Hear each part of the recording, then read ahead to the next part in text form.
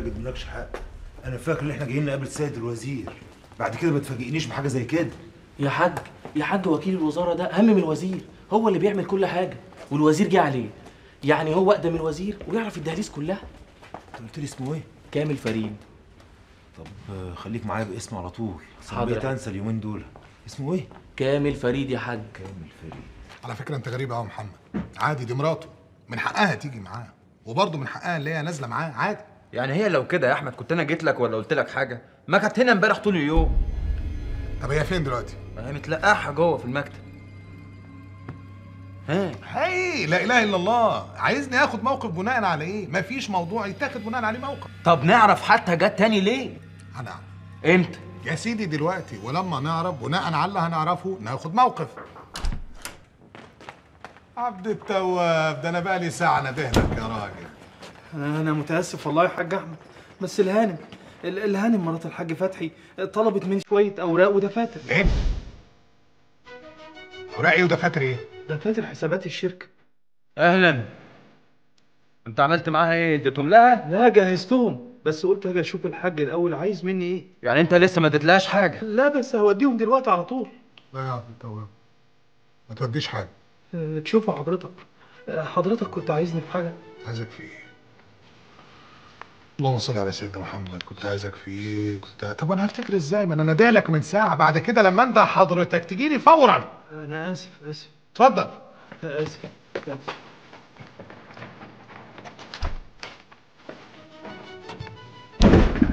إيه على فين؟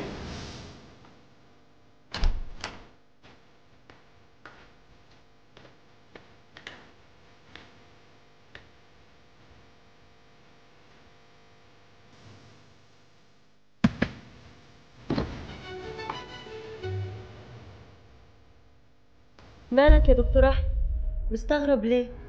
استغرب اني جيت وما صبحتش علينا بدرية فجأة كده لقيناك هنا. مين يقول لي مين الكلام ده؟ أنا عشان كده عملت الوصول وجيت أصبح. جيت تصبح؟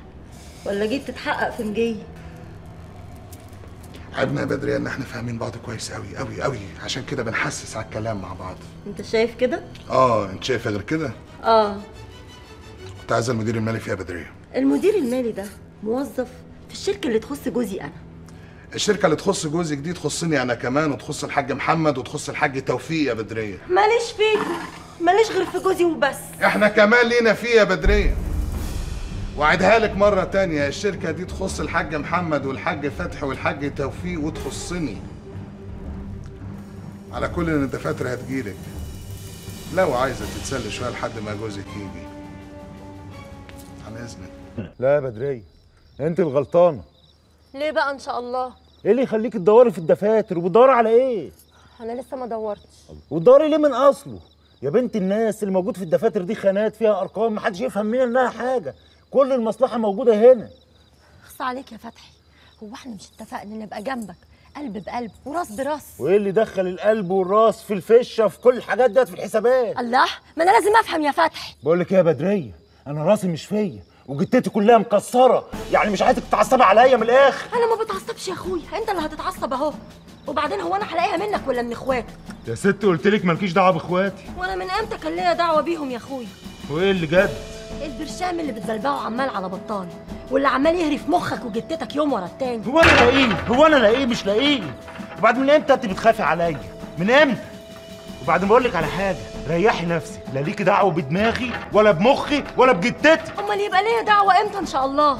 لما ألاقيهم غموا لك عينيك وبيمضوك حتى على هدومك وأنت مش حاسس؟ لم نفسك يا بدريه شايفاني عيل صغير ولا برياله جرى إيه يا فتحي. هو أنت عايز تغلطني وخلاص؟ ماشي يا أخويا. لو أنا غلطانة قرات فأنت الغلط راكبك من ساسك لراسك. بس على الأقل بقى أنا بدافع عن حقي وحق عيالي. يا وليه أنت ناقصك حاجة؟ طلبت حاجة وما جاتلكيش؟ لما ما كنتش عارفة لي حق فيك وفي فلوسك يبقى ناقصني كل حاجة يا فتحي. ريحي نفسك يا بدريه ريحي نفسك. الدفاتر اللي انت رحت تدوري فيها ديت مش هتفهمي منها أي حاجة. الدفاتر كلها موجودة في رأس العبد لله. ما هي دي المصيبة يا أخويا إن دماغك مش فيك. يا راجل ده أنت ما تعرفش عيالك هنا ولا عند جدهم مع إنك أنت اللي بعتهم بنفسك.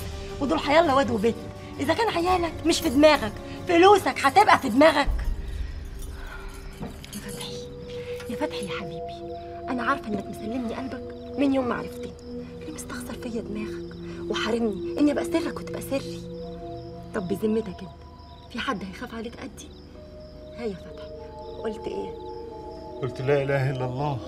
لا إله إلا الله. آه إيه ده بدريه لقيتيه فين؟ عاوزه؟ هاتي والنبي يا بدريه قول لي يا بدارة زي زمان. هاتي يا بدار وهتوديني الشركة يا فتحي؟ هوديك بس هاتي بقى. وهتسلمني دماغك يا فتحي؟ أنا كل ليك يا بدريه كل ليك بتعمل إيه يا قلبي؟ كده يجيلك قرح أنا هجيب لك مية.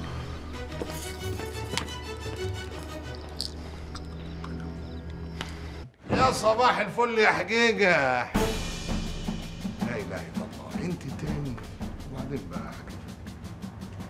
خير يا دكتور أحمد.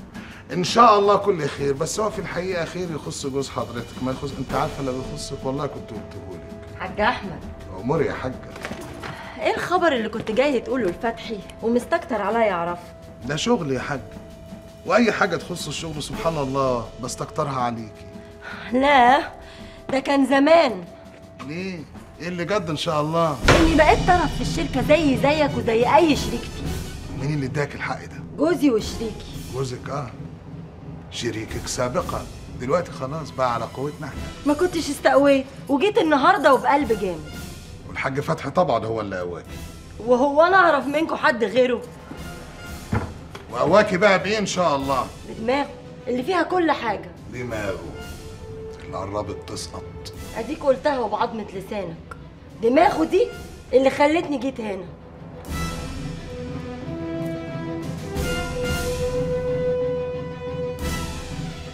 وبعدين يا أحمد دي تبقى مصيبة. إيه يا واد مالك زي ما يكون عامل عاملة كده وخايف للست عنب تعرف يعني عايز نعمل إيه يا أحمد؟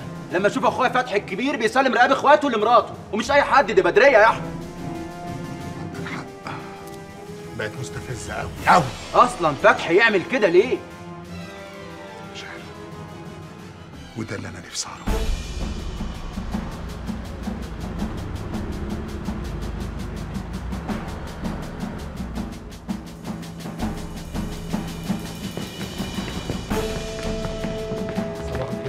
أستاذ عبد التواب. أهلا يا فندم. يا ريت الورق اللي بتلف بيه على المكاتب ده يبقى يعدي على مكتبي الأول.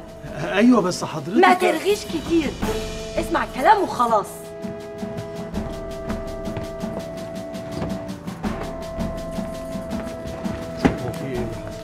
سيدة مصر الأولى يا سيدي عايزة تسوقنا زي ما هي عايزة. يا فتحي إحنا نفسنا اللي اسمنا أصحاب الشقة. محدش فينا على صوته على موظف قبل كده. يبقى أول ما صوتنا يعلى يبقى صوت واحدة ست. اللي اثر في شغله يتشد وهي ما غلطتش عشان عايزة تمشي الشغل. وهي إيش عرفها في شغلنا يا فتحي؟ ده بيني وبينك بقى. يبقى ان اولا تعرف يا أخي. وبعدين أنتوا حاطين نقركم من نقراها ليه؟ دايما مغلطينها ليه؟ لا أنا ما بغلطش حد أنا بكلمك أنت. وبصراحة لو في غلط يبقى عندك يا حاج. اسمع بقى منك ليه. أنا دماغي مش ناقصة ومش على آخر الزمن أخويا الصغير هيحققني ويركبني الغلط. طب ممكن تهدى عشان نعرف نتكلم؟ انت هتلاعبني اهدى ومش اهدى. أنا عايز أعرف أنا غلطت في إيه؟ يا حاج فتحي. هي من إمتى بدرية وهي طرف في شغلنا؟ يعني إيه طرف في الشغلانه فسر كلامك أنت كمان. وقبل ما تفسر اعرف إنك بتتكلم عن مراتي. لا معلش اسمح لي. مراتك ده في البيت إنما هنا لا. ما هي ما تتحشرش في الشغل. مراتي ما تفرقش عني حاجة يا أحمد. أنا مش زيك. ومن هنا ورايح أنا وهي واحد. يا أحمد بالراحة مش عايزين صوتنا يعلى. أنا عايز أفهم. استنى أنت. يعني إيه واحد؟ بعمارة إيه؟ هات لي عماره واحد ليه؟ انت وبدريه كانت شافت إيه من المر اللي إحنا شفناه عشان نعمل قرش على قرش؟ عشان نوصل للخير اللي إحنا فيه اللي هي بتتمرمك فيه. الله؟ لا إله إلا الله. أنت مش مكتفي بكده يا حاج فتحي. ده أنت جبت لها الخير كله وحطيته لها في طبق واديته لها لا أنا وأخوك وأبوك لينا في الخير. بدريه مراتي ليها برضو يا أحمد. ورجلك فوق رقبتك. يا جماعة دي مش طريقة مناقشة. اهدى يا أحمد اهدى يا فتحي. يا حاج فتحي أنا مش هسمح لك إنك تسمح لبدرية تحط إيديها في الطبق ده تاني. أنت عارف ليه؟ لأنها لو مدت إيديها بعد كده هتحط صوابعها العشره في عينينا وأول عين هتبقى أنت. وأنا لآخر مرة يا أحمد بقول لك أوزن الكلام اللي بيطلع من بقك. وراعي إن دي مرات أخوك الكبير. ما تبقاش كبيري لو كبرتك مرة.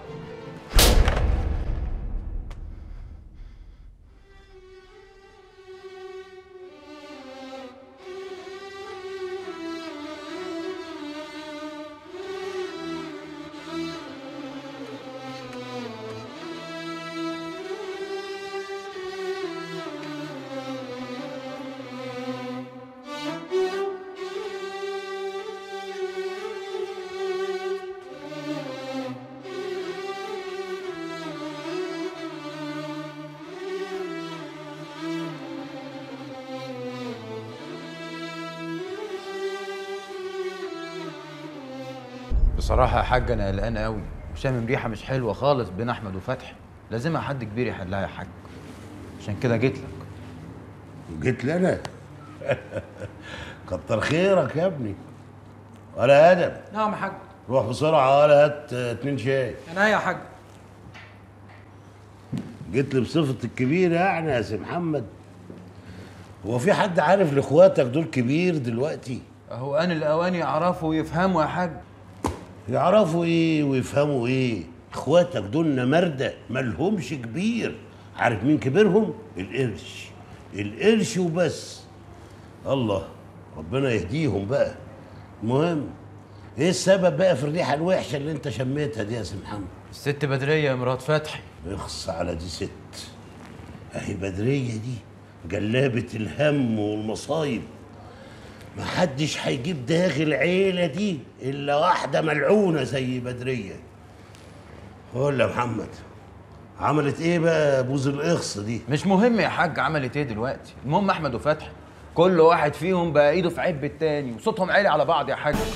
ودي مشكلة لازم تتحل لو ما اتحلتش هتبقى مصيبة وهيبقى لها ديل يا حاج. ولا مؤاخذة بقى الديلي جرجر ورانا وإحنا كلنا ما فيش حد فينا له خلق يبص وراه يا حاج. صح يا عين العقل يا اسمع إحنا بكرة كلنا نتغدى سوا. انت عليك تقنع أحمد. أما فتحي سيبهولك.